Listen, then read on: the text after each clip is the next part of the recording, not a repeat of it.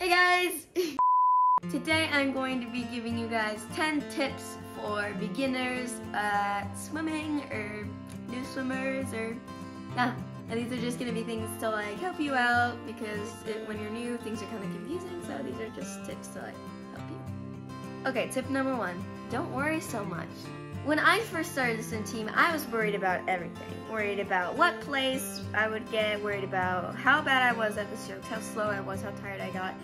But what I realized was not to, you don't need to worry that much and not to worry that much because worrying slows you down. So you shouldn't worry, you should just go for it and try your best.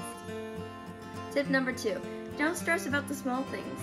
When I first started the swim team, again, I stressed about the small things. I stressed about when I dove in the water, I was stressed about getting water in my goggles. I also stressed about choking on water while I was swimming, which actually did happen to me.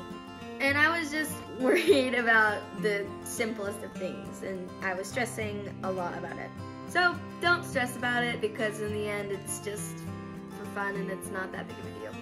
Tip number three, don't get mad about what place you got. When I had my first swim meet, I was pretty sad and upset with myself because I I got two sixth place ribbons, sixth place ribbons, and two fifth place ribbons, which is actually good for your first meet.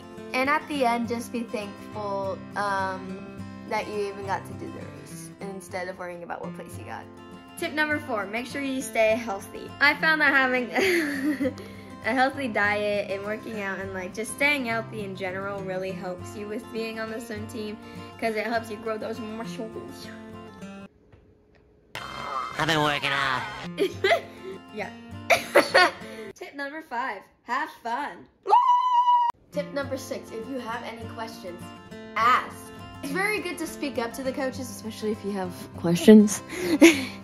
because when you first start the swim team, there's a lot of things that are confusing and to ask the questions and like figure out what it means, that's really good. Because I found that I was confused a lot during my swim team years last year. I was very confused and I didn't really ask too many questions because I was new to it. But this year I'm comfortable with coaches. I know them and like da da da da.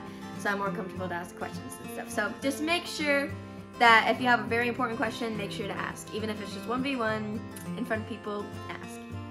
Tip number six, don't be shy and start talking to people. It's just really good to start talking to people and making friends because um, tip number eight, make friends. Try to make friends and talk to people because if even just one friend is enough to get you through the season because I met my best friend and I didn't talk to too many people other than her. So she helped me get through my swim team season. So try and make, she's nodding. try and make friends so you're not as lonely while you're there. Moving on to the next tip. Tip number nine, work hard, but not too hard. Okay, now this tip is kind of confusing, but basically, if you mess up at something or you are a little wonky in that stage, ask the coaches to help you and work on that, work on it pretty hard. But I mean, not too hard because you don't want the whole thing to just be serious and no mm-hmm. fun. But work hard enough to where you get better at it. Next tip. tip number 10, show them what you're made of. Get out there and show them what you're made of, especially in races. Show them what you are made of, girl or boy. Next, you show them what you're made of. You can do it. One time I did my backstroke turn, and I look up and two of the head coach, co-head coaches were clapping, and I was like, really? so, um, show you're made of, girl or boy. Alright guys, that's it for the video. I hope you enjoyed. If you did, remember like, comment, subscribe. And me and Cooper will see you guys in my next video. Swimmers out! Hey swimmers, what's up? It's me, Ella, and today I'm going to be giving you guys 10 hips for... hips? Tip number three. Don't... I forgot. Okay. Because if you... Um, so